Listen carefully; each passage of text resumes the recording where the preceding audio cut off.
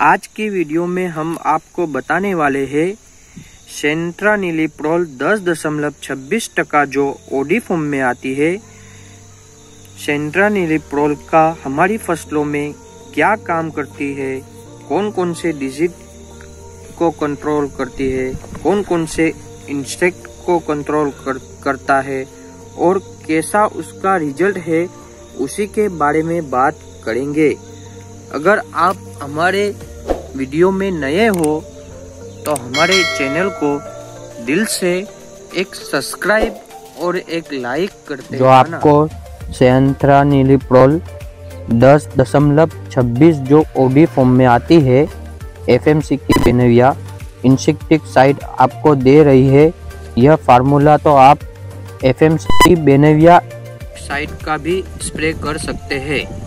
या फिर जो जिस कंपनी की भी सेंथ्रा नीलीप्रोल दस दशमलव छब्बीस टका में दे रही है, उसको आप स्प्रे कर सकते हैं।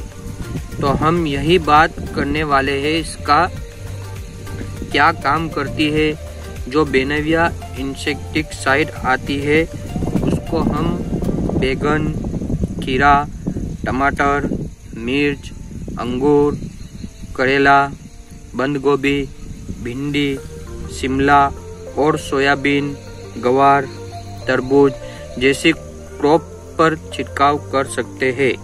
इसके अलावा आप अनार, फल, फलकार फ़सल पर स्प्रे कर सकते हैं। तो आइए बात करते हैं हम कौन कौन से इंसेक्ट को कंट्रोल करती है। विस्तार से जानते हैं। यह मुख्य रूप से वोलवर पिकवर, गुलाबी, सुंडी फल छेदक तना छेदक और सभी तरह की इली को कंट्रोल करती है।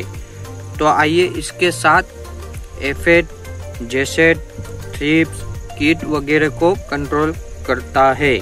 यानी कहने का मतलब ये है, रस चूसने वाली सेकेंड पेस्ट को भी कंट्रोल करता है और चबाने वाले कीट को भी कंट्रोल कर लेता है। जो मैंने क्रॉप यानी फ़सल बताई है, उस पर आप स्प्रे करेंगे। काफ़ी अच्छे रिज़ल्ट मिलेंगे। काफ़ी उसके ही अंदाज में इंसेक्ट को कंट्रोल कर पाएगा। आइए बात करते हैं इसके डोज के बारे में। जो मैं डोज बता रहा हूँ, जो हम खुद स्प्रे करते हैं।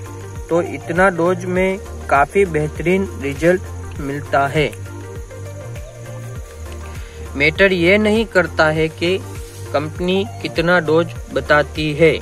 जो हम लोग स्प्रे करते हैं, काफ़ी बढ़िया रिज़ल्ट मिलता है। 16 लीटर पानी में 25 से 30 एमएल का स्प्रे करते हैं तो काफ़ी बेहतरीन रिज़ल्ट मिलता है। यानी एक एकड़ की दर से स्प्रे करते हैं 150 से 170 लीटर पानी में 240 से 300 एम स्प्रे करना चाहिए। इसका जो प्राइस है, जो 180 एम का 1650 रुपये और 240 का जो प्राइस है 2000 से 2050 रुपये के आसपास मिल सकता है।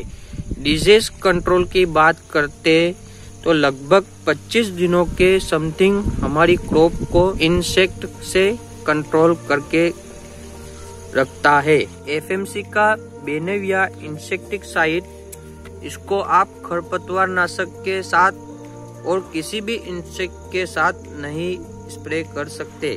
खासकर यदि आप इंसेक्ट के साथ मिक्स करके स्प्रे कर रहे हैं तो